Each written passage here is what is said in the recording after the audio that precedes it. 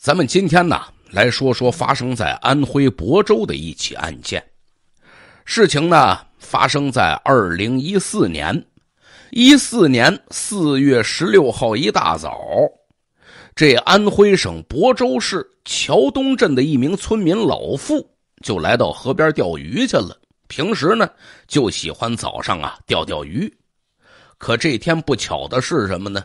他沿着河堤呀，骑着摩托车，骑了没多大一会儿，车子突然就抛锚了。哎呦，这骑不了了，怎么办呢？推着走吧。刚走了这么几步，就发现远处草丛里啊，趴着一个人，衣衫不整，就趴在地上。这要是摩托车没坏，日一下就过去了，他也见不着。那么他走的稍微近点这么一看，倒在草丛里的呢？是一个女人在那儿是一动不动的趴着，老妇啊就感觉哎呦出事了，这个女的这脸色不对呀。老妇说呀，当时这个女人的脸色紫的就跟那紫茄子似的。于是呢，立刻拨打了报警电话。接到报案之后，亳州市公安局桥城分局的民警迅速赶到了现场。到现场这么一看，这个女人呢早就死了。从直观上来看，这具尸体呢没有明显的外伤，周围也没有任何的血迹，看上去不像是死于他杀。有人就说了：“哎呦，是不是喝多了趴在这儿，结果冻死了呀？还是怎么着呀？或者是不是谁家的精神病患者走丢了，死在这儿了呀？”可再看看周围的环境吧，似乎也不是。为什么呢？尸体啊，距离河堤有五六米远，即使是人突然醉倒了或者晕倒了，你不可能滚落到这么远的位置。这个河坝呢，有一条小路，特别的窄，来往的车辆啊也挺多的。警方初步怀疑，这是一起交通事故，被车给撞了。可是经过勘查，民警并没有在路面上发现什么散落物，甚至连死者的随身物品都没发现。一般的女同志出去，你最起码不得带个包吗？是吧？实在不行，你不得有个手机、有串钥匙什么的吗？但是啊，这个女人身上什么也没有，甚至连鞋子都没有。嘿！最让民警注意的就是这具尸体的双脚，俩脚丫啊是光着的，没穿鞋，也没穿袜子。哎呦，难道真是个精神病患者，或者是流浪者啊？拾荒的。可是前一天晚上，亳州下了一宿的雨，这河堤上呢又是土路。假如他光着脚行走，那么你这脚上啊，肯定到处都是泥点子，肯定脏的都不行了。可是这具尸体的脚底板一点泥土都没有，特别的干净，明显的不是自己走到这地方来的。那不是他自己来的，是肯定有人把他拉过来。难道这是命案的抛尸现场吗？经过法医的初步检查，发现死者的颈部就脖子这儿有那么一道特别细的勒痕。这个人呐，应该是被人用绳索之类的物体勒紧了，导致机械性窒息死亡的。也就是说，这不是什么意外死亡事件，而是命案。可是这警方碰上的还是命案里最难侦破的杀人抛尸案件。抛尸案件我们之前讲过很多，对吧？通常第一步是干什么呢？得找到尸源。你不知道这人是谁的话，你就不知道他的社会关系，你不知道他发生了什么事情，你就不知道到底谁可能杀害了他。可是死者身上没有能证明他身份的物品呢。到了现场之后啊，警方赶紧的做走访，问周边的老百姓啊，这人是谁呀？你们见过吗？啊，认识吗？大伙都说不认识，没见过。但是，在走访过程之中，有一个村民跟民警反映：“哎呀，就昨天吧，嗯，我碰见一个陌生的男的，呃，到村子里边找人，呃，他找的很可能就是这女的。这个村民说呀，这个男的过来就问啊，就是来找个女的，四十多岁，胖胖的，穿着一条紫色、蓝色的或者是绿色的裤子，也化妆。哎，这个线索的出现让民警非常吃惊，对上了呀，四十来岁，身材胖乎乎的啊，难道这陌生男子要找的就是本案的死者吗？这个男的。前一天还在村子里边找人呢，第二天这儿就发生了命案，这也太巧合了吧！后来呀，经过警方调查，发现这个男的不仅到这个村子里边找，在附近的几个村子呀都找过。侦查员反映出这个线索之后，当时专案组别提多兴奋了。据村民回忆说呀，当时这男的呢。说自己是这个女人的亲人，急着要找这女人回家。问了半天，大伙谁都没见过这个男的呢，就急匆匆的走了，也没留下任何的联系方式。这也不正常啊，对吧？一般情况之下，你真是找亲人，哎呦，是吗？我这太着急了，呃，你们给我留意着点吧。要是看见了啊，留个我的电话，给我打电话，必有重谢，对吧？这是正常的呀。专案组的民警啊，就想着，如果能找到这个男的，那么就能立刻知道死者的身份。后来呢，警方又及时的和在案发地附近的几个辖区派出所联系，看他们有没有接到类似的报警求助电话。结果都说呀，没有。如果说啊，亲人失踪，这个男的为什么不报警求助呢？你既然这么着急想找你的亲人，为什么不留下联系方式呢？这个男人的行为太让人怀疑了，有可能这个神秘男子就是这起案件的犯罪嫌疑人。很可能他找到了这个女人之后杀人灭口，然后抛尸在这儿。不管怎么说，这个男的和这起案子密切相关。据村民说呀。这个人呢，身高一米七左右，说话口音就是亳州当地口音，背着一个挎包，但是具体长什么模样，因为大伙呢也就见着了那么一面，谁都记不清楚了。按照这个人行走的路线，附近的一些卡口啊、路口啊，包括一些老百姓家里啊，不都装了监控了吗？警方呢就进行了大量的调取。这个神秘男子作为知情人，或者说作为可能的犯罪嫌疑人，他对案件侦破的重要性就不用多说了。只要找到他，后面的问题那都迎刃而解。可是，经过一番调查，这个人呢，就跟人间蒸发了似的，消失的无影无踪。这边查着这个神秘男子的身份去向，另一边呢，你还得对死者的尸体啊进行进一步的检验。死者的身上几乎没有抵抗伤，这说明他是在毫无防备的情况之下遇害的，嫌疑人就应该是死者的一个熟人。不仅如此。因为啊，通过检验尸体发现死者是被人勒死的，嫌疑人用的是绳子之类的凶器。一般的命案不是这样，一般命案说伤害一个人啊，最常用的作案工具就是刀啊、棍子呀，哎，这种一击致命的。嫌疑人既然是用的绳子之类的物品作为凶器，说明他不是早有预谋的，很可能是就地取材、临时起意的。有可能受到了某些事情、某些因素的影响，比如说俩人吵架啦、生气啦，当时顺手就找着这绳子，就把人给勒死了。结合这两点吧，民警就判断嫌疑人和死者肯定认识。在这种情况之下，找到尸源、排查他的社会关系，就显得极其重要了。在现场啊。民警注意到，这尸体就在路边的草丛里，嫌疑人没有进行任何的掩饰。咱们说了，这河坝上呢，它有条路，来来往往的人呢，确实也不少，有过路的呀，啊，有在这走路散步的呀，特别容易发现。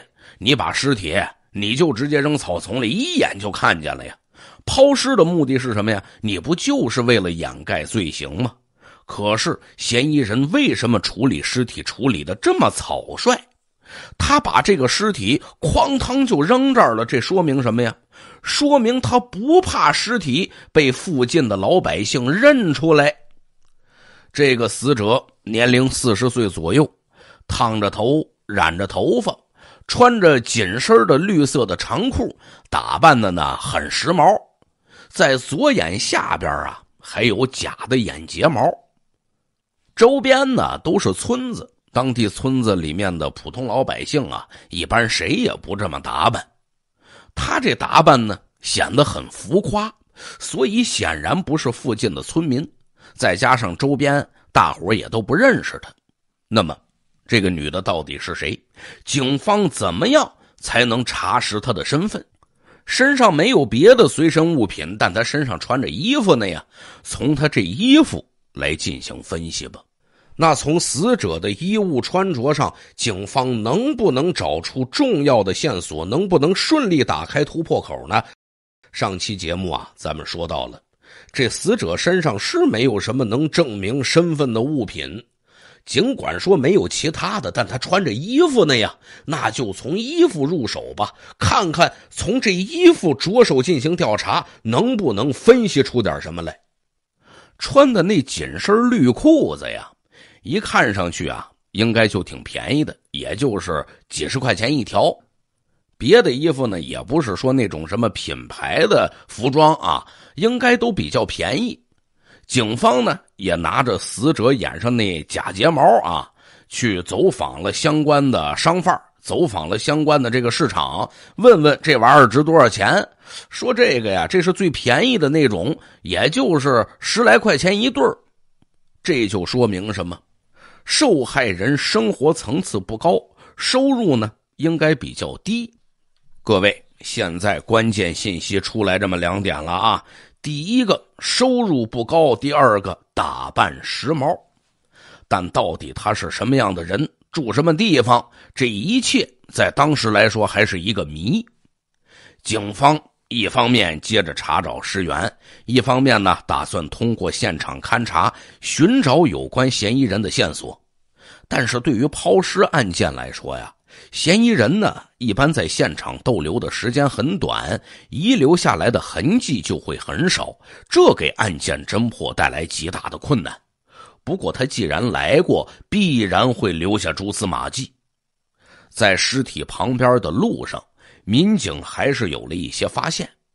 发现呢，这地上呢。有那个三轮车走过去的痕迹，要么是人力三轮车靠蹬的，要么是电动三轮车。民警就认为这很可能就是抛尸啊、转移尸体的工具。您各位听到这儿可能有疑问了：附近老百姓骑三轮车的应该不少吧？确实不少。这条河堤路虽然挺偏僻，但是是附近村民进城的捷径。来来往往的啊，这三轮车确实是最常见的交通工具之一。那么，怎么判断出来这个三轮车的车印就是转移尸体的工具呢？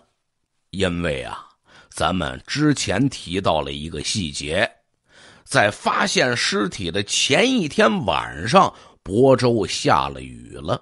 如果不下雨的话，还不能够确定这个轮胎印儿。是在这个地面潮湿泥泞的时候留下来的，这说明当时应该正在下雨或者刚刚下完雨。而这个车轮的痕迹啊，有的地方有些模糊不清，那么这很有可能是雨水冲刷的结果。所以呢，据此来判断，当时这辆三轮车从这儿走的时候，确实是正在下雨，而不是雨后。随后，民警。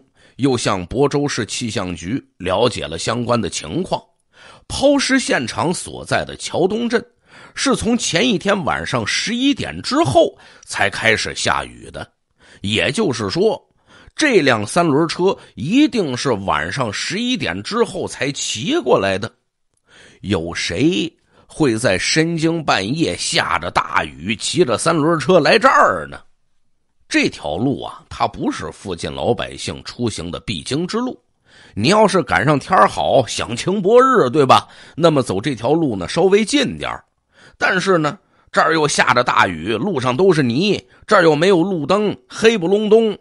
通常情况之下，在这种时候，大家呢就会走另外一条带路灯的路，那条路呢就柏油马路，也没有泥，更好走。所以，综合这些情况来分析，警方就认为那辆三轮车很可能就是嫌疑人的抛尸工具。在桥城分局的指挥中心，民警啊调阅了大量的路面监控资料，但是现场呢是处于城乡结合部，摄像头覆盖范围啊没有那么广，监控的盲区呢很多，他们呀找来找去也没有任何发现。一般的抛尸案件呢，有好多呢都是抛的越远越好，对吧？越远这嫌疑人他这越放心。但是考虑到嫌疑人的抛尸工具毕竟是一辆三轮车，暴露的风险很大，再加上当时呢又下着雨，所以民警分析啊，他骑行的距离不会太远，案发第一现场应该就在附近的某个村子里。随后，法医经过尸体解剖，又有了一些发现。首先，这个死者没有穿内衣，并且在之前有过性行为。什么样的女人不穿内裤、不戴胸罩呢？再加上他的打扮比较浮夸，也就是说，生活作风可能还是比较豪放的。还有呢，就是经济收入并不高，所以警方认定死者的职业。可能比较特殊，在检查之中啊，民警还有一个意外发现，他们在死者的裤子里找到了一张手机卡。当时为什么翻找死者衣物的时候没找着呢？因为这手机卡不在裤兜里，而是跟衣服的那布料啊缠在了一块除了这张手机卡之外，死者身上没有其他任何东西了。警方推测，嫌疑人应该是在抛尸之前拿走了这个女人所有的个人物品。由于这张手机卡体积太小，并且呢掉落在了裤子的夹层里，以至于当时没发现。因此，警方认定这张卡极有可能就是死者的。那么，这张手机卡？能不能揭开死者的身份之谜呢？又会给警方带来什么新的线索呢？警方对这张手机卡进行调查之后，发现这张手机卡呢已经停机了，同时更让民警头疼的，根本就没有登记机主的信息。这就是之前呢。在亳州地区比较流行的一种价钱卡，就是五十块钱就可以买到。买完之后打完了，你可以接着充值，你也可以不充值，打完随手就扔了。这张卡里呢，既没有短信通信记录，也没有存任何的联系人，只有为数不多的几条通话记录。通话记录里面的很多手机号，一一调查吧，也都是停机不用的。最后查来查去啊，发现有一个手机号是桥城区魏岗镇何庄的，那么这个机主呢姓何，这是实名登记的一个卡号。通过调查，这个何某五十多岁，已经和妻子离婚很多年了，儿子儿媳妇啊在外地打工，只有他一个人带着小孙女在家里边生活。平时这何某呢，在城里就是靠蹬三轮车赚钱为生。嘿，这就对上了。据当地人讲啊，说这个何某呢，热长头发，什么意思呢？这是当地的一个形容词就是说这老何呀喜欢女人。村子里的人呢，也都跟他叫老光棍那么，这老何和死者是什么关系？这老何又能不能给警方提供更多的线索和信息？询问老何的时候啊，民警呢对老何的手机进行了检查，但发现这部手机上只有最近两天的通话记录，之前的没有。这老何明明在不久之前拨打过死者的电话，他为什么要把通话记录都删除了呢？不仅如此，作为死者频繁联系的一个联系人，这老何在手机电话本里根本就没保存死者的号码。更奇怪的是，当民警向他询问本机电话号码时，他竟然回答不上来。民警随后呢？就又检查了老何的手机相册，这时候一张女人的自拍照就引起了民警的注意。为什么呢？因为这个照片上的女人就是死者，手机里有死者的照片，还有死者女儿的照片。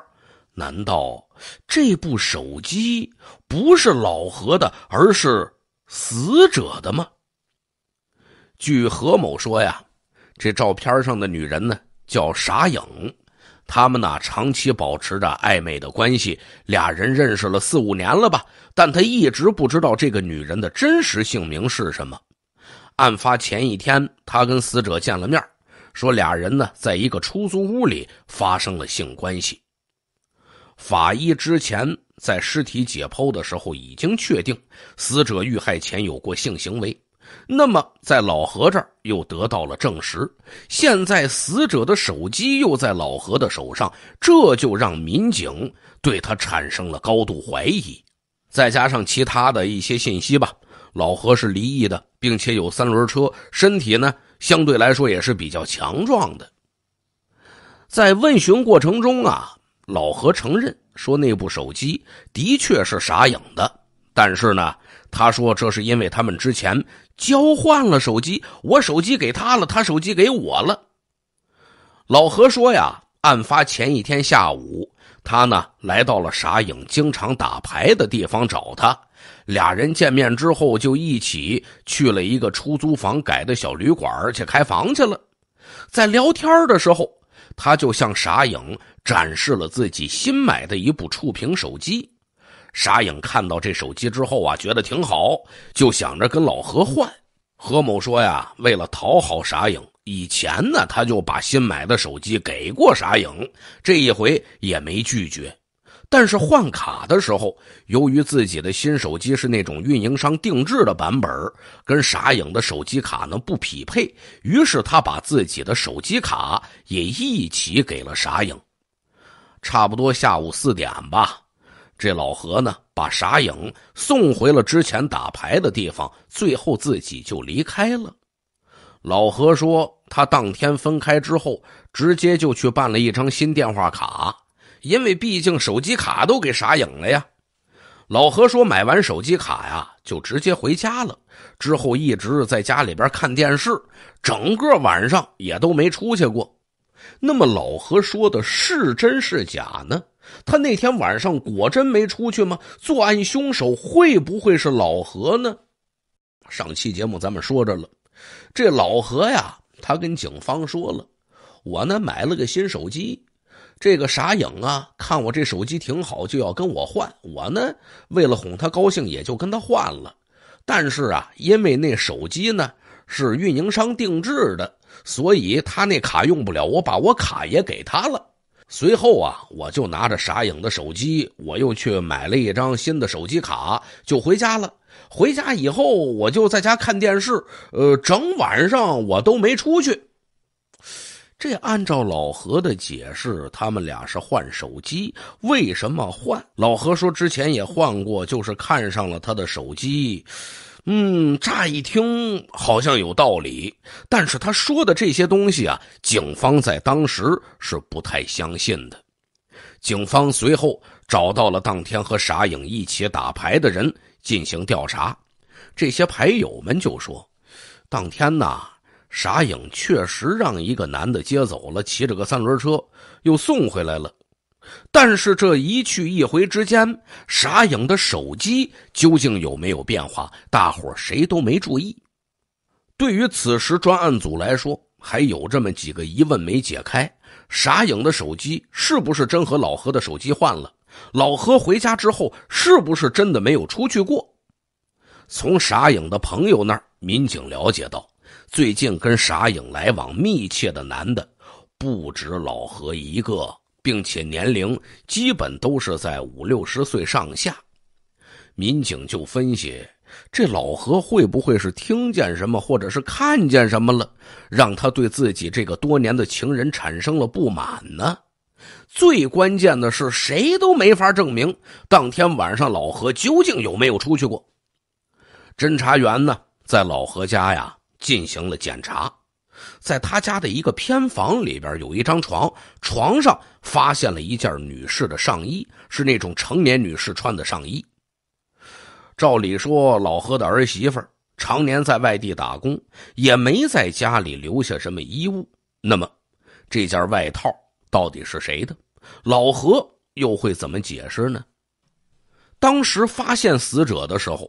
尸体下身咱们说过是紧身的绿色裤子，上身呢是一个深灰色，接近于黑色的，类似于秋衣的那么一件衣服，没有外套。死者的衣服对于皖北地区春天的气温来说，显然太单薄了。再者说了，你要是单穿一件衣服出来，你一般会穿 T 恤衫啊，对吧？或者穿个衬衫啊，很少有直接女同志穿着秋衣就出来的。那么，老何家里这件外套是不是傻影的呢？民警啊，对何某的家，包括何某的三轮车，都进行了全面检查，但是除了那件女士上衣之外，没有发现任何的异常情况。老何家明显不是命案的第一现场。在案情分析会上，有民警又提出来一个疑问。说老何家呀，在渭城镇，他和抛尸现场所在的桥东镇中间的距离将近三十公里。如果作案凶手真的是老何，那么他蹬着三轮车抛尸一来一回得需要很长时间，太容易暴露，太冒险了。那有没有可能，这老何在桥东镇有什么亲戚朋友啊？所以他对桥东很熟悉呀。查来查去，发现老何在桥东镇也没有亲戚朋友，他对桥东镇的环境并不熟悉。如果他不熟悉那儿的话，他不应该会选择那儿作为抛尸地点。之前民警一度怀疑老何可能就是那个到村子里边找人的神秘男子，但是经过调查，这个推测也不成立。为什么呢？老何说了：“我呀有个三轮我想找他的时候呢，我就到大洋桥底下。大洋桥下边呢有一个老年人打个小牌啊、小麻将的地方。这老何和傻影有着这样的一个固定的见面地点，所以他不用去村子里边找人，并且老何的身高、体态和村民描述的那个神秘男子。”并不符合，难道这起案件的凶手另有其人吗？和傻影有关的联系人还会有谁呢？经过细致查找，民警啊，终于通过大数据啊，在数据库里获取了傻影的真实身份。傻影啊，本人姓郝，这郝某呢，当年是四十五岁，就是亳州本地人。民警知道了郝某的身份之后，立刻赶到了郝某家。到了郝某家，就见到了她的丈夫沈某。这沈某说呀：“嗨，我老婆呀，经常跑出去，一跑呢，也不是说一天两天、一个月两个月，一跑经常是三年两年不回来，把孩子就扔在家里边，什么也不管。”沈某还说了。他以前在家的时候，就整天无所事事，交各种狐朋狗友。这几年呢，干脆离家出走，联系不上了。三年之前吧，我一气之下，你不不回来了吗？得了，你也别回来了，我就到派出所报案去了。我说妻子失踪了。民警呢，当时就跟她丈夫沈某说：“前几天你有没有去桥东镇找过你的家属啊？啊？”你去那儿问过吗？这沈某说呢，没去过。警方你也不能听他的一面之词啊。于是啊，还拿着沈某的照片资料去问当地的那几个村子的村民，村民们也说不是这人。哎呦，这满村子找人的神秘男子，既不是沈某，也不是老何，除了他们，还能有谁呢？问问沈某吧。他的爱人有没有什么社会关系？跟哪些人来往比较密切呀？但是沈某说了，因为这么些年也没联系，他到底交了哪些朋友，跟什么人来往，我完全不知道。事已至此，老何的线索断了。说家人这边吧，沈某这边吧，哎，也没查出个所以然来。但是警方始终坚信，犯罪嫌疑人。就在附近，警方围绕着老何又开展了很多大量的工作，同时在现场还有几组民警也一直连续不断的开展走访摸排工作。在村子里走访的时候啊，民警得到了一条线索，说我们村啊有一个姓董的，他呢经常带一些陌生女人回来。那么说的这个董某。当年是五十二岁，跟老何情况差不多，早年离婚了，独自一个人生活。据村民说呀，案发前一天傍晚，呃，我看见老董骑着摩托车，带着一个穿绿裤子的女人回家。警方拿着死者的照片给邻居进行辨认，邻居一看啊，对对对对对对对，穿的就这条裤子，就就就就是他。得到这线索之后，警方决定立刻接触董某。民警呢拨打了董某的电话，可是一直没人接听。其实啊，民警已经在董某家外边了，电话没人接，但能够听见这手机铃声一直在屋子里边响个不停。警方呢通过窗户往里边看，就发现这董某啊就在床边坐着。一个劲儿的低着头在那儿抽烟，隔着窗户，民警就问他：“你是不是老董啊？”哎，这老董呢，他也不跟你说话。后来啊，警方在村干部的配合之下，采取了紧急破门的措施，说白了就把门给撞开啊，把这个董某就控制住了。在董某家，民警进行搜索的时候，找到了属于傻影的两部手机。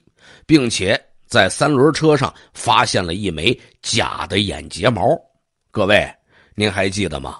当时警方在尸体身上啊，在他眼下边有一枚假的眼睫毛，另一枚可没有。哎，在这三轮车上呢。现在是铁证如山，在证据面前，董某对自己杀害傻影的犯罪事实供认不讳。据这老董说呀。他呢是在两年前认识了被害人郝某，大家跟这郝某啊都叫傻影，俩人呢只是偶尔约会，就发泄一下自己的生理欲望啊，并不会经常联系。交往了一段时间之后，这董某呢也知道了傻影的真实身份，只是彼此啊心照不宣，这你也有需求啊，我也有需求，继续就保持着这种关系。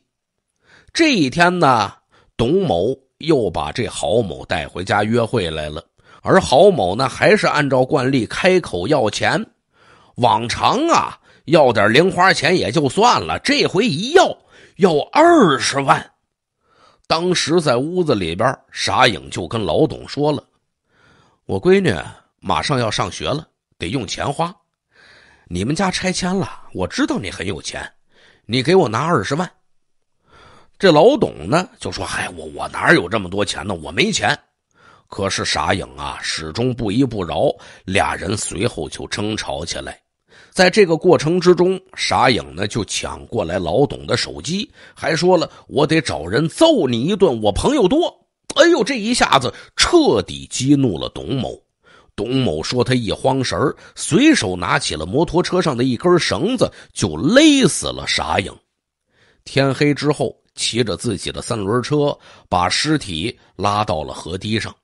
由于当时下起了雨，再加上心里紧张，也没多想，把尸体啊推到草丛里边，这也就算了事儿了。老董说，案发之后的几天，他呢一直非常的恐惧，也很悔恨，甚至还想到自杀。但是，一是下不了决心，二是还没来得及，就让警方抓获了。最终啊，老董。也因为故意杀人罪，伴随有抛尸行为，情节恶劣，受到了法律严厉的惩处。咱们今天呢，来说说南昌七二八灭门案。二零一一年七月二十八号上午八点来钟，这天呐，南昌啊，闷热的都不行了，恨不得呀都不想出屋，喘口气儿都费劲。家住南昌市某小区 B 座三零二的万小华，这天一早上，那也顾不上热，得出去上班去。他呢，开着车就走了。临走之前，看了看还在睡着的妻子和两个女儿，轻手轻脚的关上门。他们家呢，雇了一保姆，保姆叫丁凤花。万小华跟丁凤花打了声招呼，就走了。可他哪想到啊，自己刚走不久，一场杀戮可就开始了。万小华的妻子叫刘文露。这天上午八点半左右，四十一岁的保姆丁凤花右手拎着一壶刚烧开的开水，打开主卧的房门，走进来就问这刘文露。水开了，你房间的热水瓶在哪儿啊？三十岁的刘文露带着八岁的大女儿万莹，正在睡觉呢，迷迷瞪瞪的，突然就感觉保姆站在床前边，那热水壶还散着热气呢呀，呼嚓嚓的，就在自己头顶上。刘文露吓得呀，把丁凤花一推：“哎，你怎么这样啊？”烫到人怎么办呢？也是啊，孩子还躺着呢呀。丁凤花呀，当时没站稳，往后退了两步，壶里边的开水呀就溅出来了，烫到了丁凤花的右胳膊和左脚。丁凤花呢，平时寡言少语，性格比较内向，当时脸色可就变了，直愣愣的就盯着刘文璐。刘文露呢，又说了丁凤花两句：“你疯了，把开水壶提到我们床头这儿。”我是疯了，都是被你逼疯的。今天我跟你拼了！丁凤花突然就发作起来了，大喊着，把手里的开水壶朝着刘文露歘就扔过去了。刘文露本能的抱着女儿一闪身躲过了开水壶。但是这壶里边是开水呀，唰就洒了一床，烫伤了刘文露。刘文露彻底惊呆了，他没想到雇来的保姆竟然对他大打出手。刘文露噌楞一下从床上翻下来，一把揪住丁凤花的衣服：“走，跟我到派出所去。”丁凤花身强力壮啊。刘文露平时要不干什么活，柔柔弱弱的。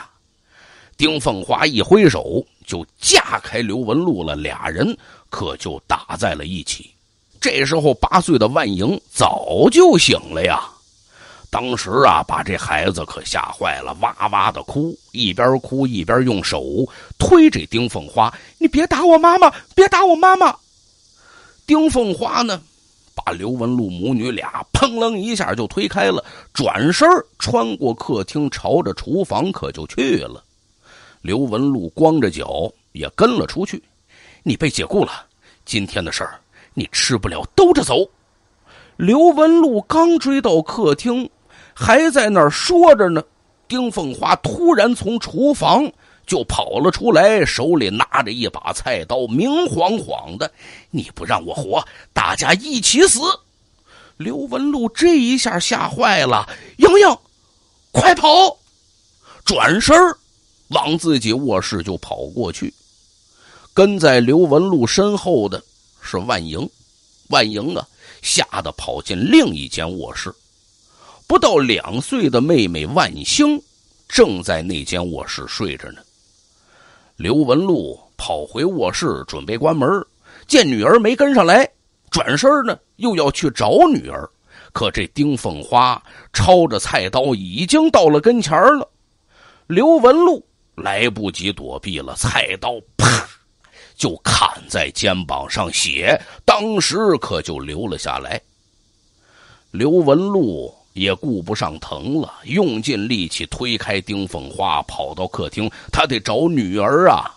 见女儿不知去向，不知道在哪儿。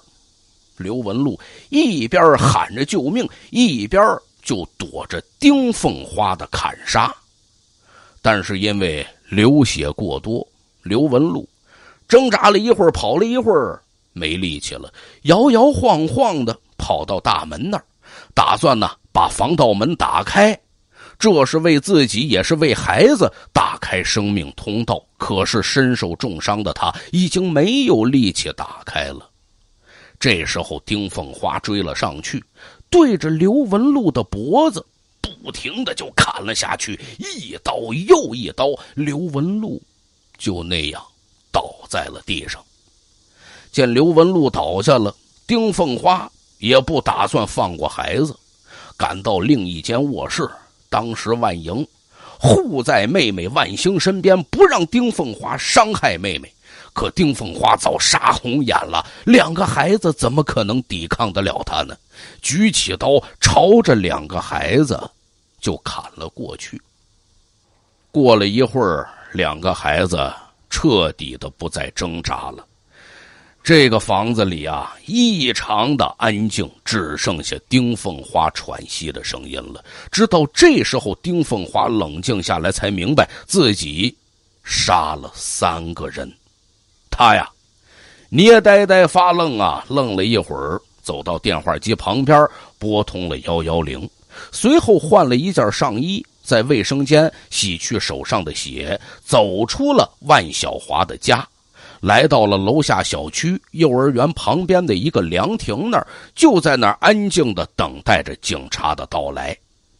这起案子当时震惊了整个南昌啊！人们都无法想象什么样的深仇大恨，竟然让保姆对雇主动了杀心，一连杀害三口，连两个孩子都不放过呀！咱们呢要想知道为何会这样，得从丁凤花的生活经历说起。丁凤花呢是南昌市新建县刘湖乡罗桥村人，十七岁的时候结婚了，嫁给的同乡叫柳振国。生了一个女儿，一个儿子。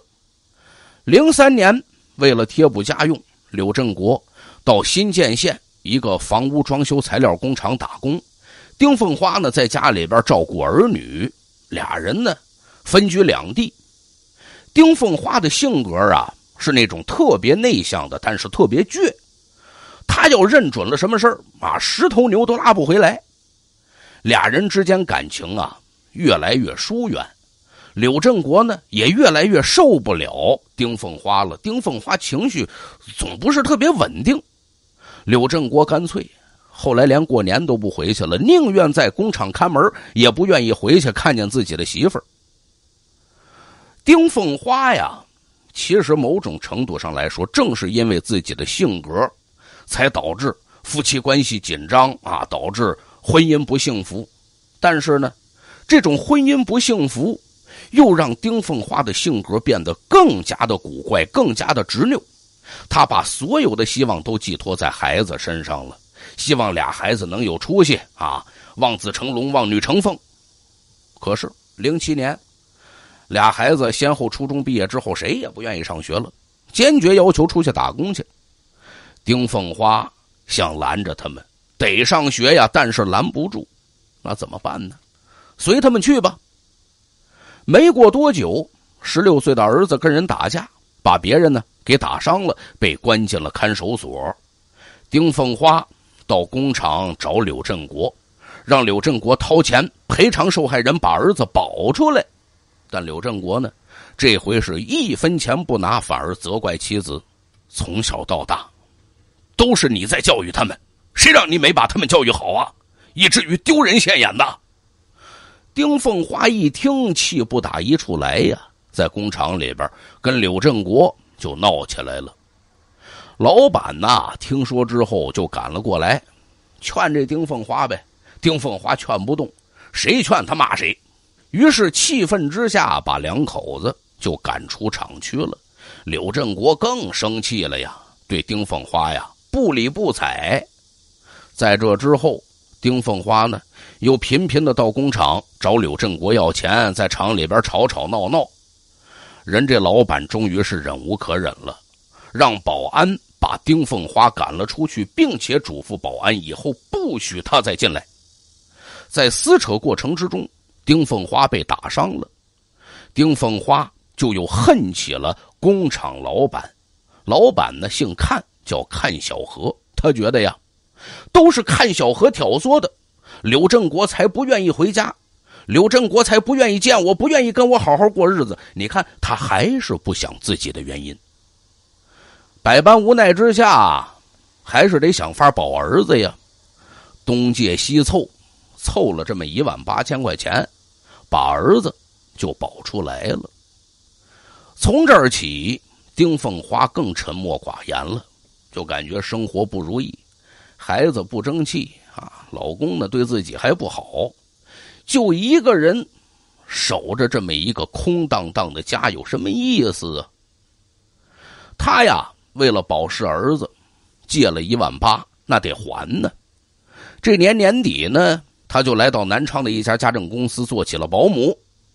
丁凤花，要说别的优点呢，确实不多，但有一个优点，做事麻利。不过呀，对于做保姆来说，性格很重要。丁凤花性格很古怪，又特别内向，所以甭管在哪个雇主家。都干不长，人家呀都受不了他的个性。最长的干三个月，人家肯定解雇；最短的只干了两天，人家就受不了了。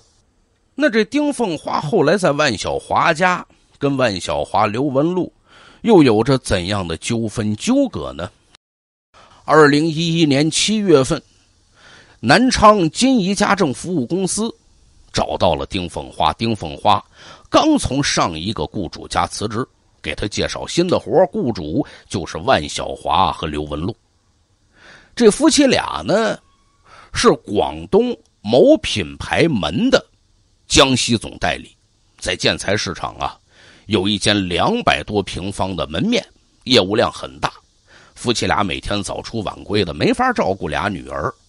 原来请的保姆呢挺好，跟一家人关系处的也特别好，但是啊。人家要回老家结婚去了，你这事儿不能拦着呀。夫妻俩只能又找家政公司，再找一个保姆。一一年七月十四号，丁凤花和刘文禄见了面了。看丁凤花挺老实可靠的，不言不语的。刘文禄呢就挺有好感，就问他：“你过去做过保姆吗？有没有带孩子的经验呢？”我家有两个孩子需要照顾。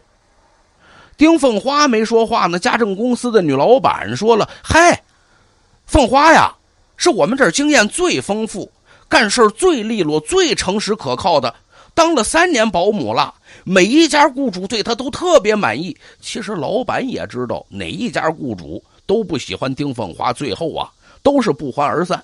但是，毕竟能干活、愿意干活。”要钱要的还不多的保姆不好找，那有活就使劲往外推呗。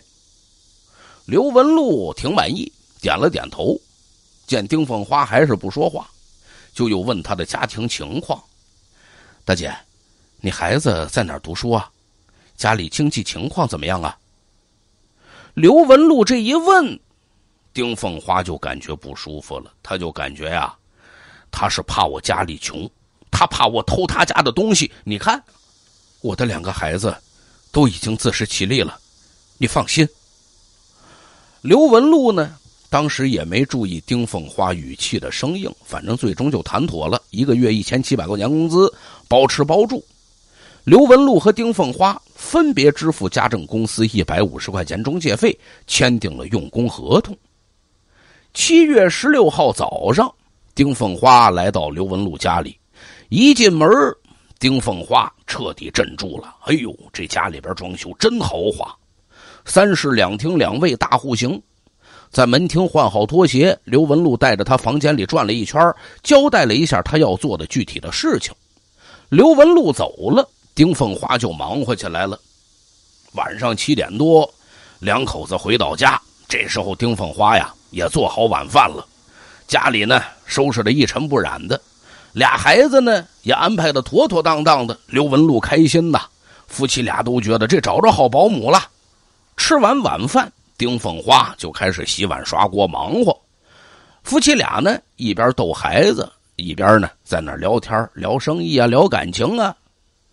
哎呦，正因为这夫妻俩感情好，恩恩爱爱的，一家四口啊，甜甜蜜蜜的。丁凤花心里可就难受了，她恨呐！凭什么你们夫妻感情就这么好？凭什么你的孩子不恨你呢？凭什么你的孩子不讨厌你呢？凭什么我的孩子就讨厌我呢？自己虽然有老公有孩子，但是老公讨厌自己，孩子讨厌自己。之前那么多雇主，一个个所有认识自己的人全都讨厌自己。想到这些呀，他眼圈一红，差一点就流下眼泪了。刘文禄看丁凤花收拾完了，还热情的叫她呢：“大姐，忙了一天了，过来看会儿电视吧。”丁凤花呢，侧着身子坐在沙发上。他坐这儿啊，更感觉别扭了，因为这一家四口人家太幸福了，这不是在故意的刺激我吗？啊，你们不也应该吵架吗？不也应该打打闹闹的吗？怎么，怎么跟我不一样呢？刘文禄啊，这时候走进卧室，拿过来一套洗漱用品，递给丁凤花，里边什么都有，牙膏、牙刷、毛巾、洗发露的。丁凤花这时候说。这些东西，我带了。嗨，大姐，以后咱们就是一家人了，不用客气。这是我特意给你买的。